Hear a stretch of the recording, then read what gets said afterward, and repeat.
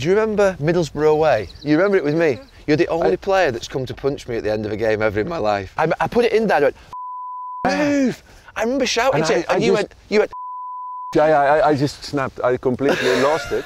We were actually driving up to Old Trafford to do the press conference, to sign, and a phone rang. I always remember if you didn't score, that was a problem, wasn't it?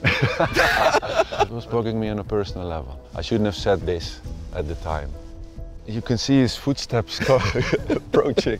Your head's like that. And the hat is gone, and then the shoes stop. And then he said, How long does it take you to shoot? And it went out quickly to the press. And I was in this hotel room, and the paparazzi were there outside the room and getting pictures. And I was like closing the curtains. And I'm like, What the freak is happening to me now? Coming towards the end at Manchester United, what were your feelings? Well, I'm on the way to the training ground of PSV Eindhoven, and I think you'll have probably guessed already to meet a former teammate of mine, a Manchester United legend, adored by Reds all over the world, and that's Ruud van Nistelrooy.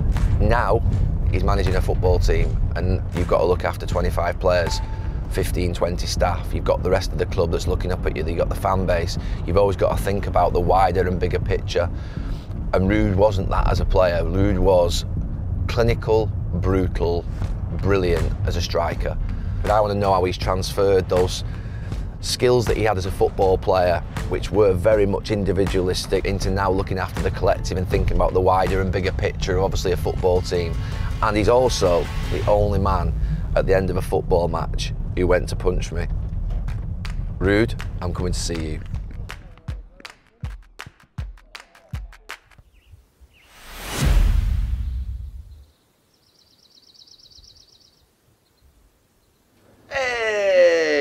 Hey, how are you? Good to see you, mate. You good? Yeah, I'm fine. I- good to see You you. too? You're looking unbelievable, eh? What, what do you want to do? Do you want to go for a we go for a walk Yeah, it's fine. Yeah, and then go come ahead. back in? Okay, let's go. Let's go.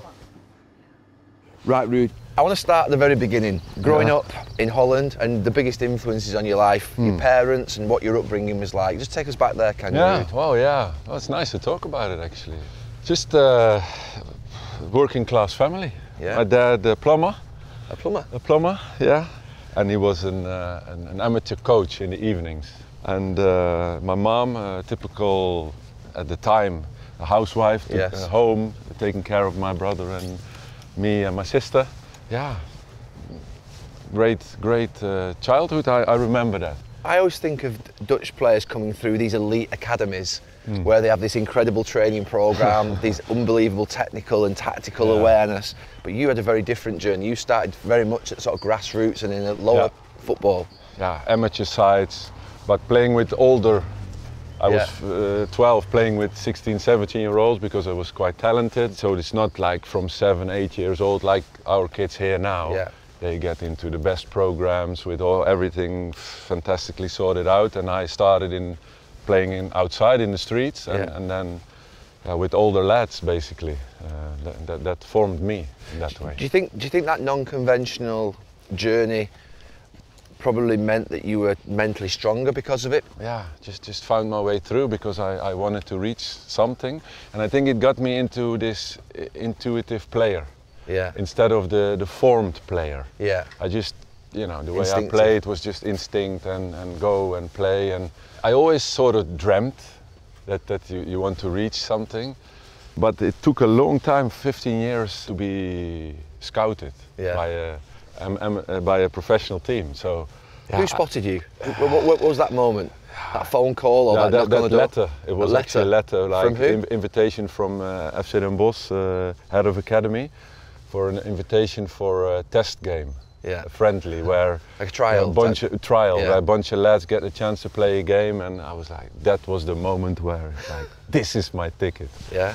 and uh, now I've got a chance. And that game I remember very well. Yeah. I played well and I got in. Yeah. That- were that were you a midfield player back Yeah, in- all my, my childhood. How were you a midfield player? yeah, you cannot imagine. I cannot imagine. cannot As a imagine. midfield player, you have to pass to other people. Oh my god, yeah. But I, I really got into this Yeah? this striker mode. when was that? I think at PSV. So before that, you're playing as a Always midfield player. Also as a Bosch, professional. At Heerenveen? And Heerenveen also. Wait, what- kind of midfield play? Give, give me Yeah, a, a 10, like, uh, off the front, yeah, yeah, of, of, the, of the nine. off the nine, Yeah, yeah, runs and running in behind, getting in the box, scoring goals. and then running back and defending. Yeah, also a little bit, yeah. You defended. Oh, I got into this. we need to get these videos. I, need to get these. I know. vid- You cannot imagine? Yeah, you cannot imagine. Yeah. Sometimes I got a little bit too too much out of the striker. You just said two things there. You said running back and then running into the channels and running wide. I'm thinking that's Yeah, not really because yeah. at Manchester United when you came, you loved being in between the two centre backs. Your movements were always so clever. Yeah. How did you develop from that player in those early years? That was a Yeah. midfield player, number ten, Hmm. to being that sort of what would be one of the greatest strikers that Manchester United have ever had. I don't know. It's the, it's also the instinct. I think Yeah. as a as a midfield player, I don't think I would have made it into the level of, United and, and Yeah. there. And I just adapted into a player where I felt I can here I can be a difference. Yeah. I, I don't think naturally that that was sort of me maybe, but I just wanted to make Yeah. it happen. Yeah. So my qualities at that level, I had to adapt in a way, Yeah. in, in, in, a, in also in a mindset that was maybe a little bit unnatural Yeah. to me, but to, to What to be a striker? yeah, and, and to be able to be so fixed in in scoring, Yeah. that was quite narrow, I think. Yeah. In that sense, I was, that wasn't particularly me, I, I think, but I didn't care because I wanted to succeed, and, and, and I got into that that type of player. Yeah. Yeah. And Heron started to score goals. Was that where Yeah, the change? Who, which, who was the coach that said? The coach there, he- yeah. You need to go up front. Yeah, he said you, you can uh, you can be a nine. Who I was the coach at that time? Yeah, he's, he's called uh, Foppe de Haan. It's a it's a very he was all his life in Heerenveen and he's Yeah. a very famous coach in Holland and he said you can be a nine. I said a nine? No, I don't know. I don't, don't think so. I'm I'm a ten. I'm a midfield player and he said no, learn to play with the back to goal and be in offside positions and then he, he- he really started working with Yeah. me and he's he's he, yeah he, he- did exercises and coaching and, and video and he made me watch other games and go and watch strikers and develop yourself in that. He almost like reprogrammed Yeah, your yeah. mind. You reprogrammed your whole game. Yeah. And would he be the biggest influence in those early In years in that, terms in- of your career? in that sense, yeah. Because he made that, that transition. that transition work, coached me through it and developed me through it. And I took actually a lot out of it for me now as a coach Yeah. and as a, as, a, as a trainer or as a coach of young lads. What's your moment that was the low point in your life so far? We were actually driving up to Old Trafford to do the press conference, to sign, and a phone rang. Would you ever see a psychologist during your career? I actually did.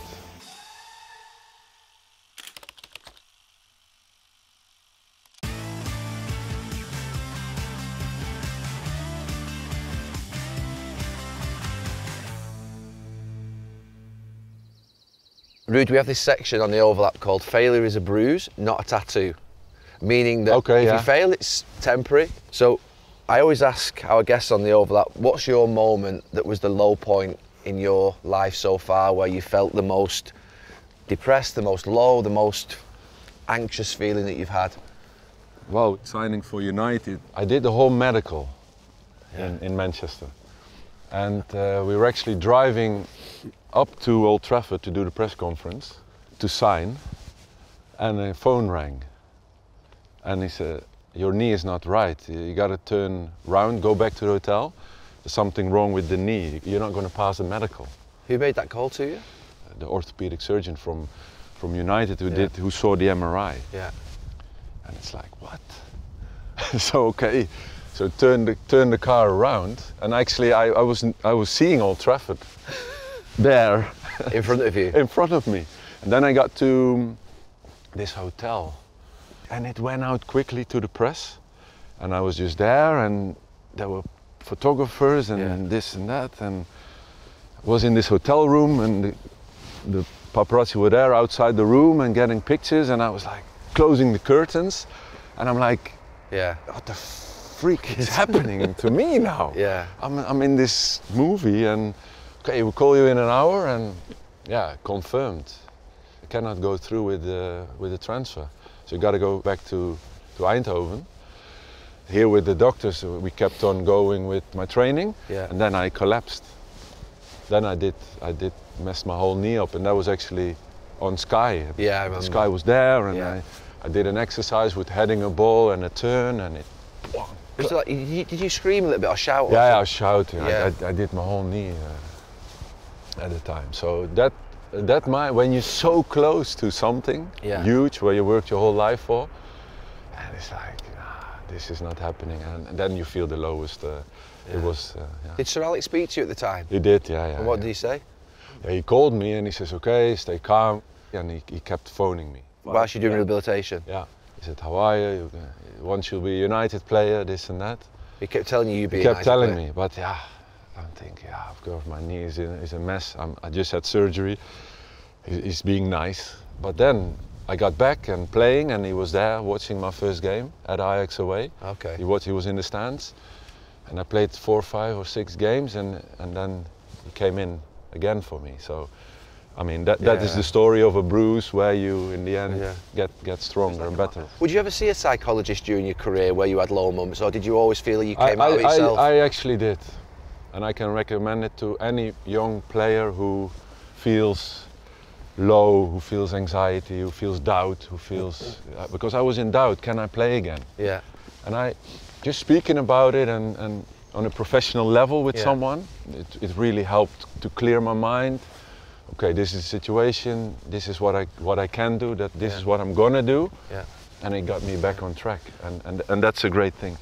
A lot of young football players, but a lot of young people struggle sometimes because obviously some people can't get access to go and see Hmm. a psychologist. What sort of things did the psychologist say to you? Do you remember anything specifically that helped you that you use as a Yeah. coping mechanism now? Well, I think the first people you you reach out to is, is, is your family and friends in, Yeah. in these low moments, and tell them also your yeah what, what you're dealing with. Yeah. Because sometimes you maybe you're proud or not not do it and deal it with yourself. Yeah. I think just sharing with it, Yeah. sharing your feelings is is a big thing in that in that sense for me. And it's hard as a football player, particularly in a sort of male dominated environment where there's a lot of ego. You know, it's a masculine environment. It's hard to actually speak up and tell people that Yeah. you feel that way as well. It is, it is, but I think it helps when you open up and you feel, hey, it's a relief. Yeah. That that's the first uh, sign of of, Yeah. of re- recovering, I Yeah. think. Yeah. So, Ruud, it took you some time to get to Manchester, but you finally arrived. What were your early impressions? Firstly, of the city actually itself. Yeah, I, I loved every bit of it. I was happy to to, get there and uh, to get to know the city and, and the surroundings. We, we we got to live in Bowdon.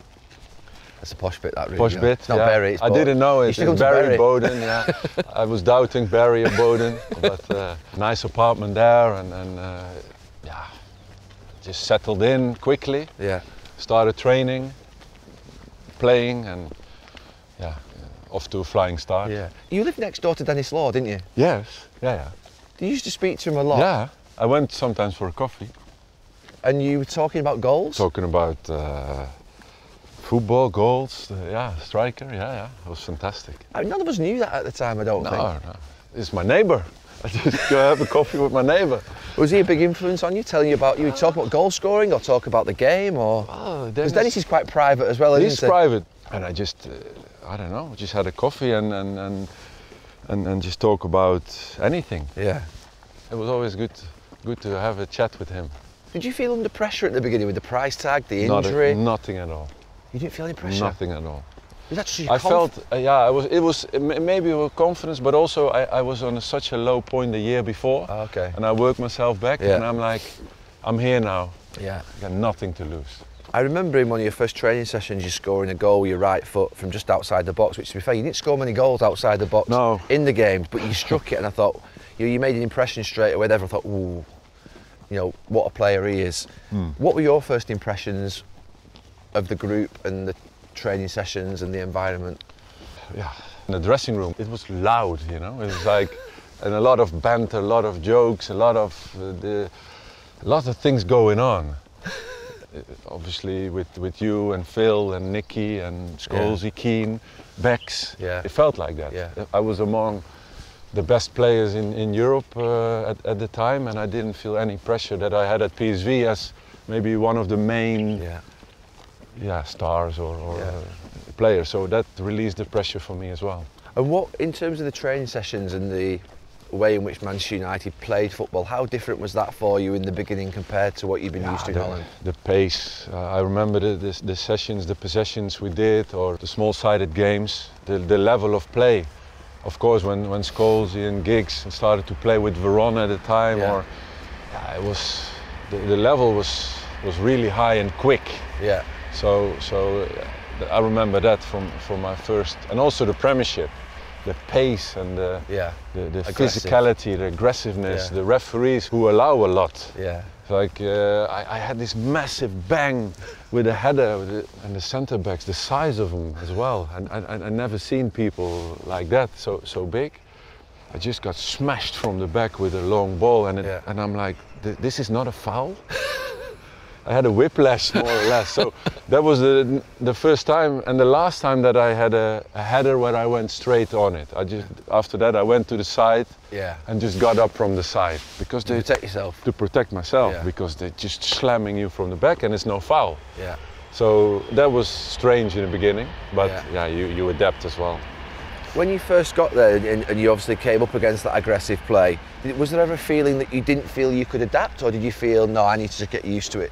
Yeah, but what was good that I, I, I could make my runs in between players instead Yeah. of being against players, uh, Yeah. especially the, with the physicality. And of course, with Becks on the right, Giggs on the left, Yeah. Scholes, and Veron playing a lot there, or even then with, with Yorke, who, uh, Yeah. with Dwight, who was playing off the striker. They would feeding my runs in, Yeah. everyone in his own way. Becks Yeah. with his ear- early, long, long passing range, Giggs with his dribbles and his balls where he could play me in, and Scholesy with anything he wanted. yeah, from close or, or from f- further away. Yeah, it was for me to make runs and getting into areas. With these players around you, you can do a lot. When, when I talked to Scholesy about you, he says that you were the best striker that he played with at United. And I always remember Sir Alex, I, I remember a lot of times him coming in the dressing room, I don't know if you remember at half time saying, we can't spot your runs, there's only Scholesy that sees your runs. Do you remember him saying things like that? Yeah, I do. Did you agree with him? I, Scholesy had this eye, and I knew he would see me. Because your runs were subtle sometimes, weren't they? They were like little darting runs and in between centre backs. and also runs where where you run quite early because you run you know I had to trust Scholes' touch with my run and I knew his touch would be good and then I'm, I would make my run and if if the touch then isn't good and then Yeah. you're maybe offside, offside, yeah. So you're on the line, edge on of the offside, line edge yeah. of the line trusting his touch and then his pass and Yeah. Scholesy was I don't know we got this yeah this Te- connection Telepathy. yeah a little bit Yeah, I mean, in terms of your your style of play, you talked to me before about being a number ten, but when you arrived at Manchester United, I just thought you were sort of a goal scoring machine, a killer in front of goal. I, you'd completely adapted by that yeah, point, I, I hadn't you? completely adapted. Yeah, by the time I just entered as this type of player Yeah. to United. Talk to me about your relationship with the fans. The fans absolutely adored you, didn't they? I think it's, it was also the building up with the medical and Yeah. failing, and then the rival was there, Yeah. and the goals came from the beginning, and it gives just a massive uh, a boost. Yeah. You know, that is extra lift, uplifting, and and that relationship was uh, yeah was special always. Do you remember Middlesbrough away? I put it in there. I went, Move! I remember shouting And to I- you, and I you just- went, you went. Yeah, yeah I, I just snapped. I completely lost it. Coming towards the end at Manchester United, what were your feelings?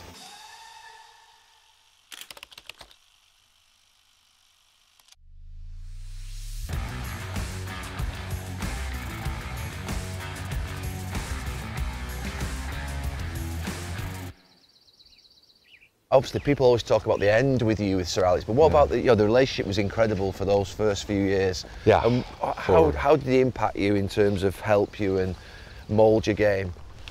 Yeah, I think he was he was very special in uh, in the consistency. You know, you, you're you're preparing your, yourself to, to perform, and not not a not a season, but the next and the next and the next, and he always kept going on about that.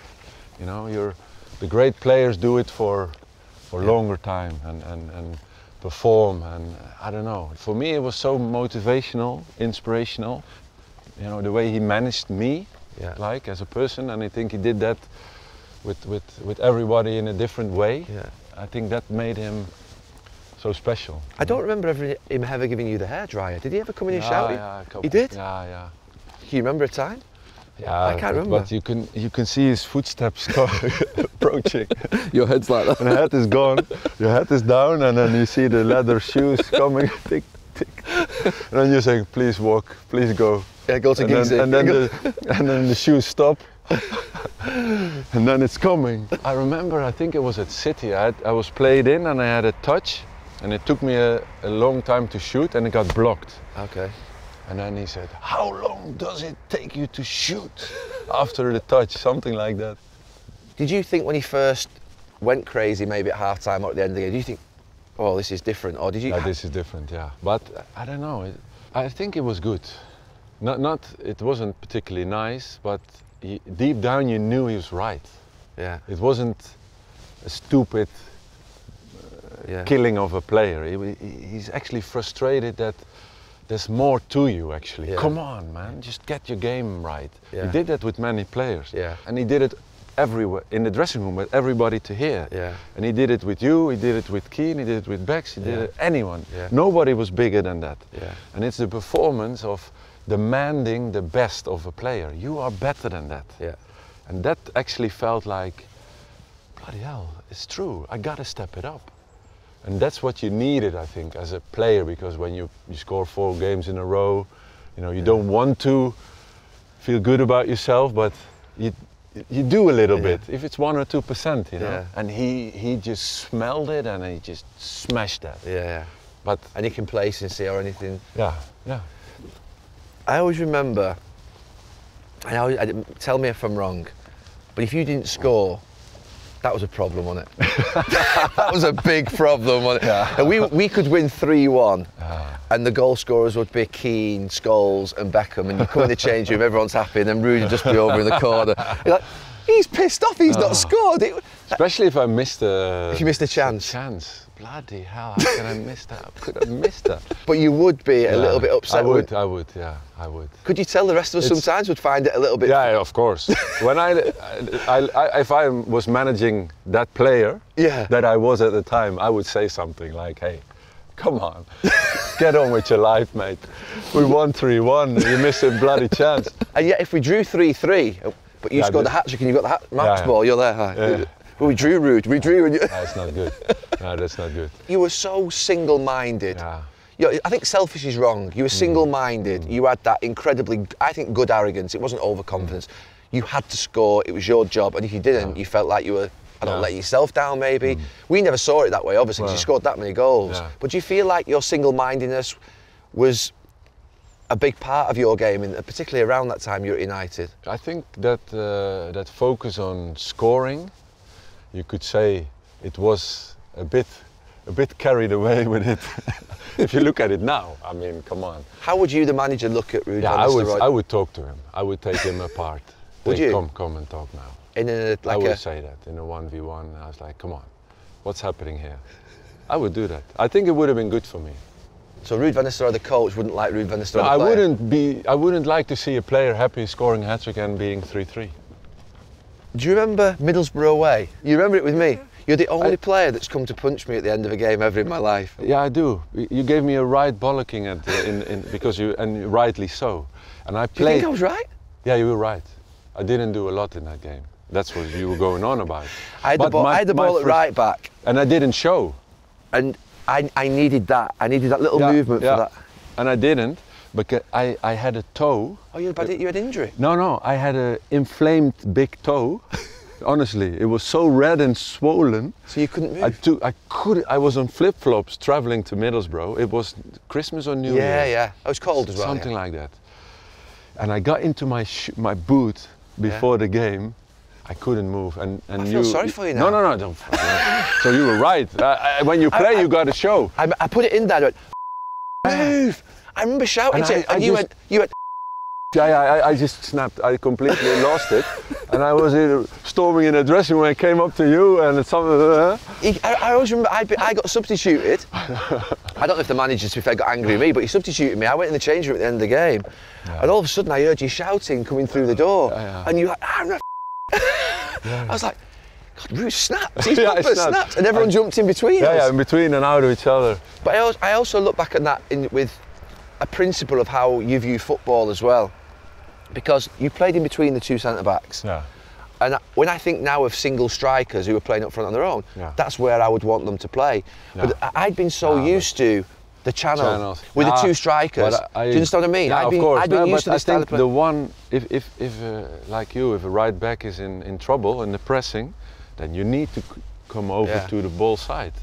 I, uh, when you need a striker feel, to, I to feel better about my shout. I feel better. I felt, no, I felt bad about this for like 15, you were right. 20 years. You're right because I, I didn't show and I needed uh, I needed to be there Yeah. at the time for you. But it was it was a, sh- a hell of a trip that for me. And you had a sore toe. I don't think the United fans are going to feel sorry. He's, No, you don't feel sorry Rooney's got a sore toe. I got this, and my boots were my boot were. Uh, It's horrible having a sore toe half in a boot. half a size too small to, to really hit it well, and the, the toe. I don't know. I, I shouldn't have maybe. but I, I, what, what am I going to say, Geff? I cannot play. My toe is sore. I mean, I was afraid. Sir, boss, boss, my Boss. toe's a bit sore. I can't play today. Roy, Roy, but I'm, I'm Roy. sorry, uh, my toe's a little Oh, bit. well, Roy with my hairband. Remember that? Oh yeah, what, what, did he kill you? He killed me for four months. Because you put a headband on. Remember that when I came, I had this longer hair with the you bloody did, you did. And I put it for training, and I went in the dressing room to the mirrors there with the Oh, you used to put it and on. I put the habit. Slick and, it up. It was and he was like, yeah, every day for three months. I actually had enough of it and I cut my hair. I really did it. like, get out of the way. I thought, okay, one month and I, I'm not gonna cut my hair for this guy. two months, but every day for two months. and then after three months, I just. I'm taking my hairband off. so, coming towards the end at Manchester United, what were your feelings? Because people talk about the Ronaldo situation a lot, Yeah. don't they? Yeah. But I was frustrated at the time because if you remember, I was used to playing with David, and Yeah. it was telepathy. We knew exactly what he was going to Yeah. do. Then Cristiano came, and it was different It was, because yeah. he was running everywhere. He would. Mm. dribble. He would be unpredictable. Did you feel frustration at that time because the delivery wasn't coming, or did you feel? Was it was it Cristiano? Or was it just a general Nah. frustration with different things? You think? I, don't- I don't think so because it got a bit out of out of hand with that situation. I think the way we we are, you know, in, in, in a relationship, Cristiano and I, Your al- mentalities. is fine. Yeah. Now, eh, Yeah, in general, course, yeah. it's been really blowing up. Yeah, yeah. a- I mean, uh, yeah, I was There was, incident, there was an incident in training one day, wasn't there, where you were both going yeah, at each it was a uh, like a, uh, yeah, uh, an argument in training, and it, it, that's the story. But in the end, we, we, we, we figured it out together, Yeah. and we moved on, and the relationship is, is, Yeah. is perfect. Yeah. But it was a, a transition moment in the in the In the- team in the with club, younger guys. Rooney came, Ronaldo came as young, promising guys, and it needed some time to adjust. And uh, and I, I would also talk to me now if I would be the co- coaching. What about being more Yeah, I was like, okay, this is a, the a, young a- a transition moment. Uh, you need to have patience with Yeah. these young guys. They will be. But we didn't have patience. None of us had patience. no, we though. didn't have patience. no. None of us had patience. No. The manager did, to be fair to and, him. and, and it was not only that for me. I was also, I don't know, I felt like five years, nearly five years yeah. and playing in the Premier League. I don't know, I, I felt like, The time was coming. yeah, maybe, yeah, I did. Was that League Cup moment the big moment? Was that a big, was that was that a moment where you Uh, thought I need to leave? Because we all we uh, all felt it in the dressing room. If you don't yeah. come on, you know, you- you're a star. Yeah, he, he, the, the, the explained it to me uh, that I did. I wasn't going to start. He told Okay. he told me before. So Yeah. I, I, yeah, okay, I can understand, because you know I think Louis played In the other uh, rounds. in the other rounds, Yeah. and the gaffer explained it. Yeah, Yeah. it's fine with me. And then we were quite a bit up, no? Yeah, I think we were winning we quite were well. winning yeah. quite well, and I was, yeah, he sent me out to warm up, and then he didn't put me on. And yeah, I sat down on the bench, and then I, I, I said something to him in, on the bench, there. What did you say? I don't remember. I don't remember. Hi, boss. You okay? Boss, you Any chance of a game? yeah, please let me in. Oh, was this something angry, something a bit angry, something a bit? Yeah, that I wasn't gonna come on. Oh, so you used like a bit of a snap. Yeah, a bit of a snap. Ah, That's interesting. Yeah. I didn't know that at the time. Was that a private word then? Did you feel after that going home that I mean, look, if you say something to a manager like that, you're going to be in a bit of trouble. Aren't you? You know that. I mean, it's it's that's how it works. That's how it works. I would be the same. Would you be the same now as a, as a manager? Yeah. If someone said to you in your ear what Yeah. you said to, Yeah, no, just just uh, the the comment on a snap in that moment of a, of a final. Yeah, you, you cannot do it. But of course, i i emotions are there, and, and, Yeah. and you know, uh, we were players too, and now as a manager, yeah, you you understand the emotions, but of course, it's it's a conversation. yeah. It's, And, it's a and how did it how did it end after that in terms of when was the moment where the boss pulled you and said, "Oh, you pulled"? How did it go? How did it work? Um, well, it was the 'Cause we ne- last. we never see this, No, we never see this as the team. It was the, the last game. Uh, I remember Charlton at home. Was it probably the last game of the season, where the win was needed to be in the Champions League. okay, yeah. I remember vaguely, yeah. and then he, he pulled me aside and he said, "You're not in the squad today." And then I knew. Uh, was that in his office? uh, no, it was in the hotel. He got me traveling. We, we were in a home game. We got into a hotel. Oh, okay, the- so Lowry. Lowry Yeah. Hotel. And I remember just waking up in the morning and then yeah, going watch the game. And I think he decided overnight That you weren't going to be in the that I squad. would, but, but, yeah. And then he, he said, okay, you, you, you're not in the squad. Some, uh, you, you'll be brought to Old Trafford and uh, get your car and that's it. The end. That was the end. that was the end. And I started pre-season, but I, but you knew that, that this was a. He, he, he knew he was moving on Yeah. without me, and, and he's putting the future of the club in, in, into other players. So uh, that that was clear. But then I read a few years later, oh, I don't know when it was, but specifically you text Sir Alex Yeah. and you said, "Do you remember me?" Is that, no, right? Is that right? No, no. I texted him, "Can I call?" Can I call you? Yeah. And then uh, he said yes, and I called him because I, you know, a year later, uh, you reflect on things, and it was bugging me on a personal level. I shouldn't have said uh, this uh, at the time In the cup final. in the mean? final, and uh, I apologize for that. And but the funny thing was uh, that I called him, and I, he was like, "Hello," and he's like, "Yeah, hey Gaff, uh, it's Ruud here." Yeah, yeah. So I was, no, there's no chit chat. Oh no, he goes quiet No, on the phone. He, he He's just like, yeah. "Okay, you you want to say something to me? Speak." Yeah, okay. It was that that man, and he was right. So I started to speak.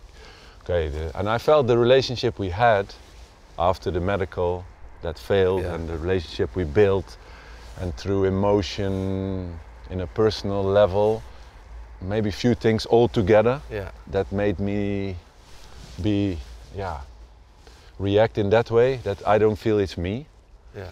and and I, I felt to apologize for that. I felt that to do it, to do it, and he accepted it uh, directly.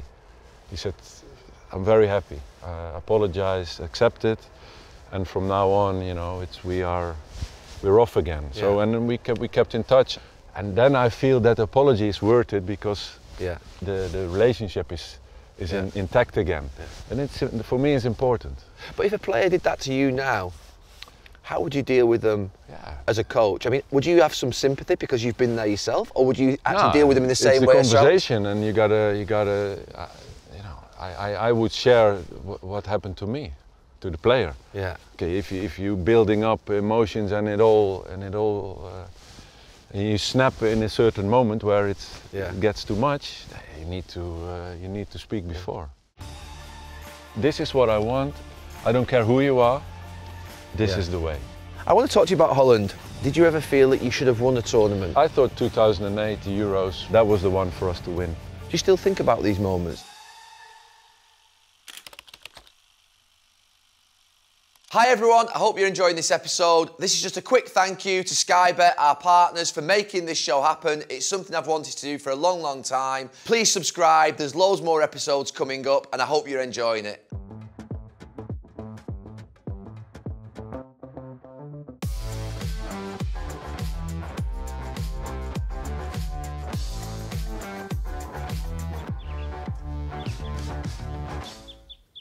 So you leave Manchester United and you go to one of the great football clubs in the world and you have Ronaldo, Robinho, you have obviously Becks, you have all these great players. Tell me about that first impression when you go into that dressing room and how it differed from, from Manchester Yeah. United. Yeah, it's different, but uh, also similar because there's so many good players there, and I had to adjust to, to Spain, to the to the language, to uh, to the club, and to the Spanish league. But uh, yeah, I I was able to adapt pretty pretty fast, and I, I felt I had a point to prove. You know, leaving United, Yeah. I was 30. Well, what's in it uh, for for, for me, and, and, and what can I still show? And yeah, we had a we had a great season, winning the league, and uh, yeah, looking back on a Yeah. fantastic period there. What was it like under Capello? Because he's seen as a hard taskmaster. Yes, yeah, hard but clear. I loved it. You love Capello. I yeah. loved it. In that sense, he was similar to Sir Alex. Yeah. He was just okay. This this is what I want, and can't. I don't care who you are. This Yeah. is the way, and that's uh, for me is clear. And he he backed his decisions, and he made his decisions, and it, it got us uh, winning that league. And what did you see differently in the Spanish game to the game in England? Did you feel it was a higher quality tactically Mm. and technically? I felt there was more more football there. Yeah. so I was able as a, as a nine to, to drop a bit more Yeah. into, into the midfield to, to play a little bit more as, as I felt in England. I, to get to drop into midfield, you get into battlefield. you you you uh, You get killed. you got killed. you got killed. You got tackled. You got slaughtered. Uh, and and and yeah, it's a different type type of game. And I felt after five years that was also part of me that one wanted a new challenge. That I wanted also to Yeah. felt that I needed that as a, as a player, as a person to to, to leave and, and try. And of course, the chance comes to go to Madrid Yeah. and play in Spain. And I, I have to say, for me, it was it was it was a lovely lovely time. And I want to talk to you about Holland. How, how do you look back upon your Dutch career as, all together? How do you how do you view it? It's been a long time. I'm, I'm proud of that. 98 to 2012. Yeah. So to be able to be in the national team for 14 years Yeah. is a long Big time. achievement, For yeah. me, is a, is a proud thing. Yeah. It says something about consistency, level, Yeah. and that. But if you look at tournaments, that's disappointing in that sense because 98 I just missed, 2000 injured, 2002 not qualified, then 4, 6, and 8 I was there Yeah. and then 10 was my last one but didn't get didn't get picked in the end Yeah. and that was when they reached uh, the final so 70 caps over these 12 to 14 years yeah, missed a couple of injuries so Yeah. yeah, it's a bit mixed Yeah. it's mixed And when you look back at the tournaments, did you ever feel that you could you should have won a tournament? yeah we I, I thought 2008 the euros when we we had the games against italy 3-0 france 4-1 in the group Yeah. stage that that was the the, the the, one that was the one for us to win because it was with Robin, with with with Sneijder with Van Persie with Van der Vaart with, with Gio van Bronckhorst Yeah. we, we had this team to to win it And why didn't you win? What do you put it down to? Uh, It's, it's, uh, it's hard to put. We had the quarter final against Russia the, in, in 2008. We lost. Was. Do you still think about these moments? Yeah, yeah, yeah. Those were defining moments. We were in, in an unbelievable form, beating Italy, world champions, France. Yeah. We were just flying, and all of a sudden that game, Russia. Russia, draw, uh, extra time, and losing the game in extra time, and it's like, how did this happen? And that's the biggest question many journalists ask: What happened in that Russia game? And it's hard to explain. What happened? It's just one of these things in football, I think. Yeah, because I can never explain sometimes 2004 or 96 when we I thought we should have won Yeah. tournaments. I can never explain how or why. You can never. Yeah. You know, Sir Bobby, he was he was my manager Yeah. at PSV, and he, he sometimes say, oh, football you can't. Some things you cannot explain in football. Were you influenced by A lot. Sir Bobby a lot? A lot. Talk to me about Sir Bobby. Yeah, I always get a smile when Yeah. when I talk about him. And he, I remember on this pitch actually when he when he he was he was my manager, and uh, he was he was really special as a person as well towards you as a player. You know, he could give you this advice and and confidence. And I was a young player here, and his enthusiasm, his love for the game, his passion. Uh, dealing with uh, disappointments and, and, and, and his team talks, his, his, his sense of humor. what was team talks like? Go on, no, it was fantastic. So, sometimes after a game he got battered for one against a, a bad team and he just made he made you laugh and it's like motivate at the same time and, and, and okay there's more to it than football and uh, I don't know it's his yeah his, his spirit is just uh, is, is amazing to play for. He was a true inspiration and uh, yeah and a great man above, above all.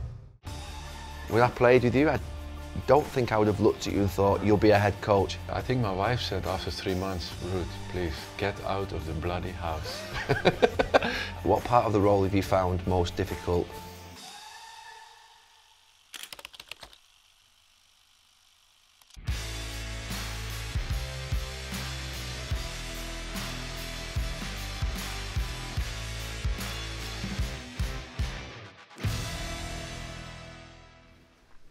Ruud, so we're looking over the pitches here at your training ground. And I want to ask you about your journey into coaching and management. When yeah. I played with you, I don't think I would have looked at you and thought no. you'll be a head coach. When did it first hit you that you wanted to be a coach?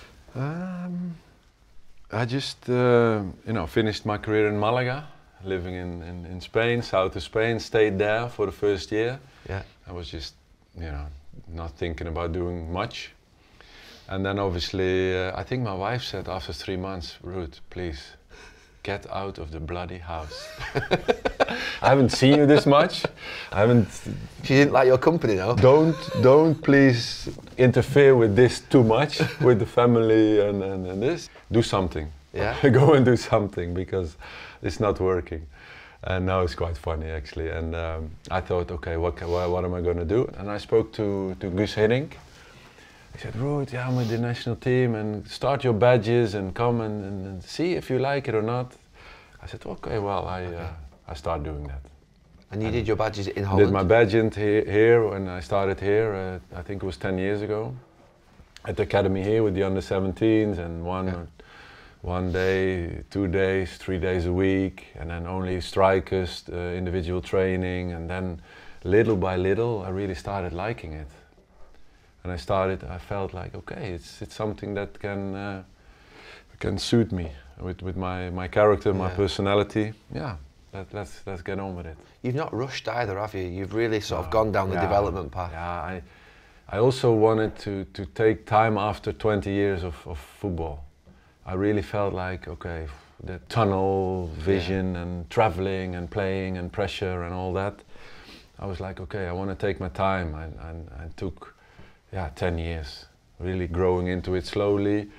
Also spending lots of time with, at home with family and, and doing the, the, the uh, school holidays with the kids, go away, travel, do yeah. things, be there. And little by little you grow into it and uh, yeah, now it's full, now it's full time again, yeah, of course.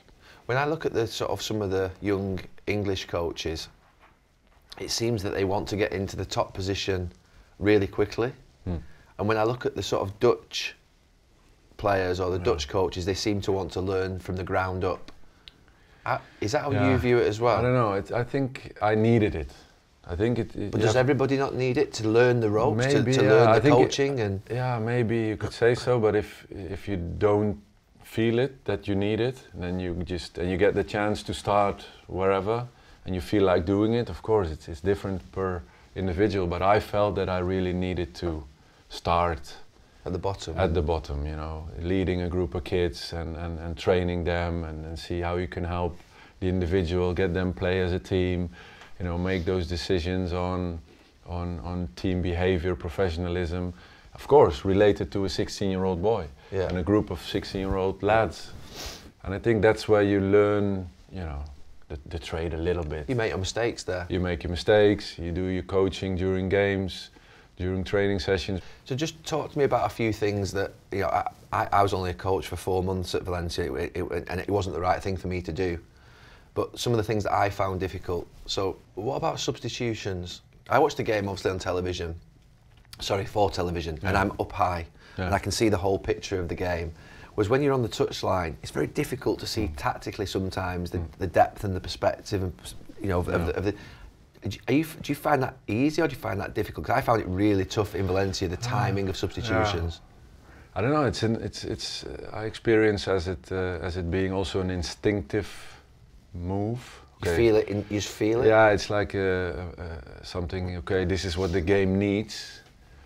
Uh, I don't know. It's it's sometimes it's that, and and you cannot explain. Okay, now this is what the game needs, what the team needs, or sometimes as well with with the coaching staff behind you, and they have they have the tablet and they see it they get feed the, they get you. the feed and they Yeah. say, hey, uh, Ruud, uh, this is. Then it's more a rational thing Yeah. or a tactical change.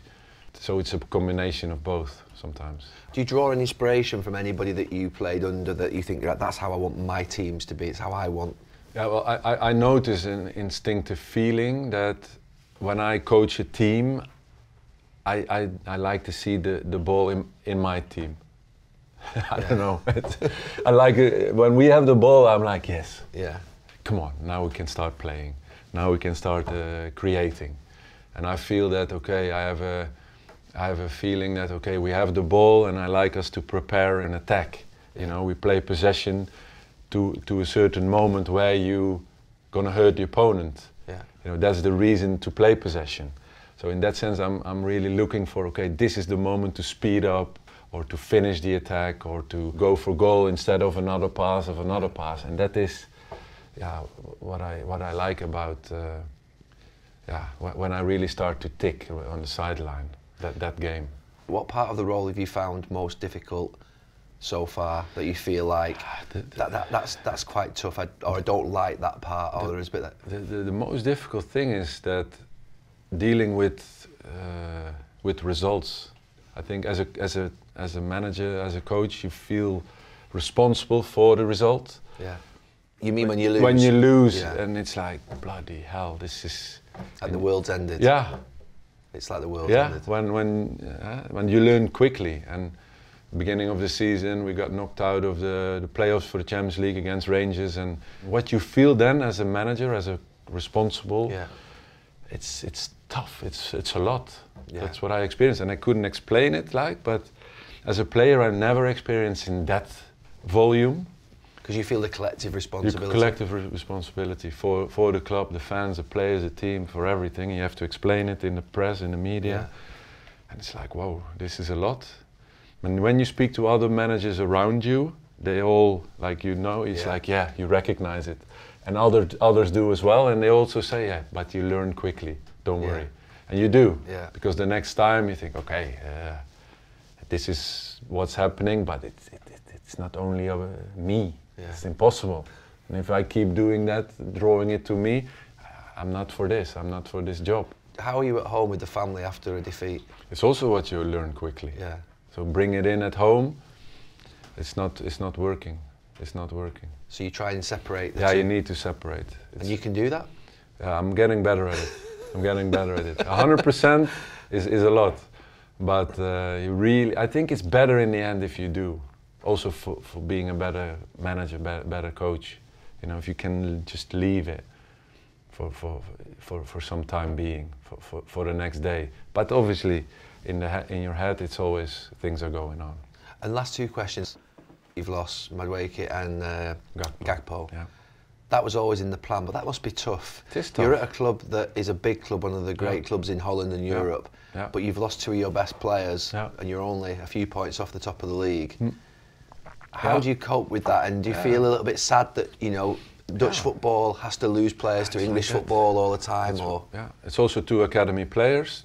I've been working with them on, on, on, on the other side, and also here. So in, in, in, it's double. In a way, you help a player fulfill their dreams and, and, and getting their dream moves, what they also already talk about when they're 16, 17, 18. Wow, what it's like to play for United, what it's like to play for Madrid, what, what did you do, what is important.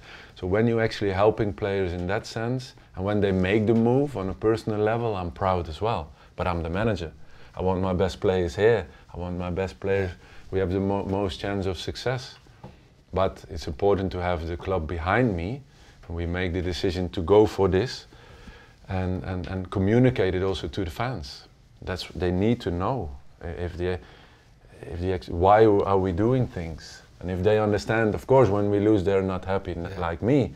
But if they can have some sense of understanding and that we're building and working towards something, then yeah, you know, you know, it's you're doing it for something. You let Gakpo go to Liverpool, Ruud. What happened? no, he, he, I did nothing. I, I saw, I saw one of the worst quotes from me about that. Uh, Oh, what was that? Gakpo got asked about it. That's something Liverpool United, but it was completely made up, fake, fake, fake quote. But anyway, uh, no. And my final question relates from how how has the transition been for you from being the most single-minded goal machine that I've ever seen to someone who now has to look after a dressing room, the media, the fans, the club, and has to think about everybody. It's, how has that uh, transition been for It's, you? it's a hell of a transition. eh?